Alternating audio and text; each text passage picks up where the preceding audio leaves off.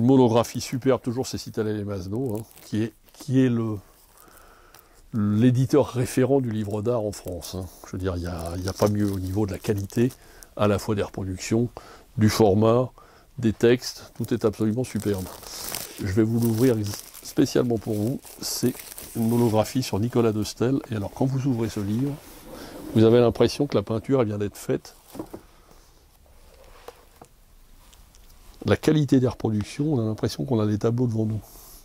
C'est absolument superbe.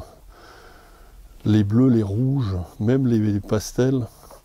Regardez ça, on a l'impression qu'on est devant le tableau tellement les reproductions sont super. On a l'impression qu'on voit les, les couches de peinture qui se succèdent tellement c'est la qualité des photos est là.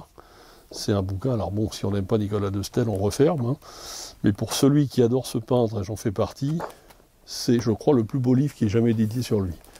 C'est vraiment, on voit toute la quintessence de son art, de son œuvre et toute la richesse de sa peinture. Regardez le rendu de ces bleus sur cette page-là. C'est un bouquin.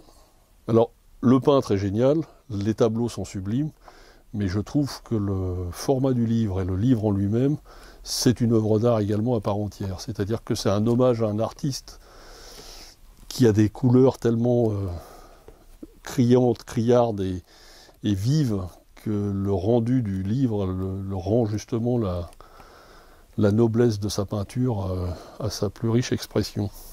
Voilà. Nicolas de Stel chez Masno.